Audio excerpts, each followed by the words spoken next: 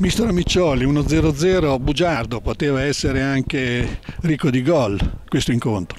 Sì, perché hanno avuto anche loro qualche occasione come l'abbiamo avuta noi, d'altronde non si è riusciti a far, far gol, perciò è finita 0-0, però credo che sia stata una partita entusiasmante, nel senso che anche la gente credo che si sia divertita per come è stata fatta da parte di tutte e due le squadre. È vero che noi l'ultima occasione potevamo farla nostra, potevamo vincerla e non avremmo rubato nulla, però anche loro comunque hanno fatto la loro partita. Sui gol annullati, mister?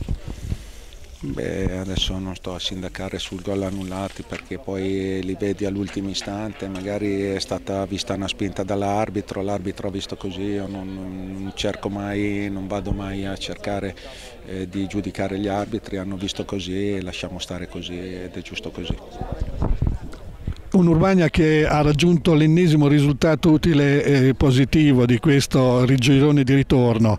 Ora l'aspetta forse la partita diciamo così determinante.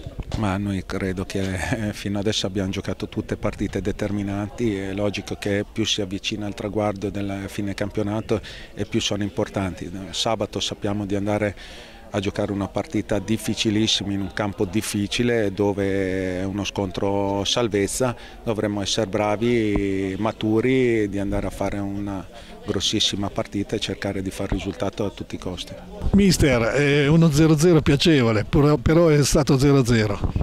Sì, noi abbiamo fatto tutto quello che potevamo. Oggi eh, per vincere la partita, eh, abbiamo qualche giocatore che rientrava da qualche infortunio, qualcun anno era, abbiamo dei giocatori non al meglio della condizione e oggi per vincere qui forse c'era bisogno insomma, che tutti eravamo al 100%, però credo che è stata una buona partita, sulla prestazione sono son soddisfatto perché eh, non volevamo darle ripartenza all'Urbania che sappiamo dove possono far male, l'abbiamo fatto bene sono state due occasioni da una parte e dall'altra e ripeto e abbiamo fatto tutto quello che, che potevamo, non ci siamo riusciti ma il campionato non finisce oggi. Ma lei come la vede nel proseguo?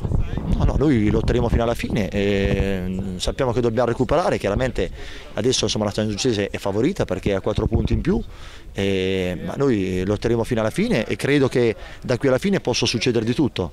E 4 punti in 6 partite sono tanti e sono pochi, e noi, ripeto, da parte nostra dobbiamo lottare fino alla fine, solo che ecco, è un po' singolare, ripeto, il fatto che eh, soprattutto in ogni trasferta eh, venga assegnato insomma, due calci di rigore, addirittura tre calci di rigore mm, come è successo a Loreto, eh, sono un po' tanti, oggi sono stati insomma, dei episodi dubbi in aria eh, dell'Urbania con due falli di mano che poteva fischiato anche il calcio di rigore, non era uno scandalo, si poteva fischiare o non fischiare, non ce l'ha fischiato, con questo ripeto a me non piace chi fa polemica, soprattutto a livello arbitrale, però eh, è, è una situazione abbastanza singolare. Ok, la ringrazio molto Misa. Prego.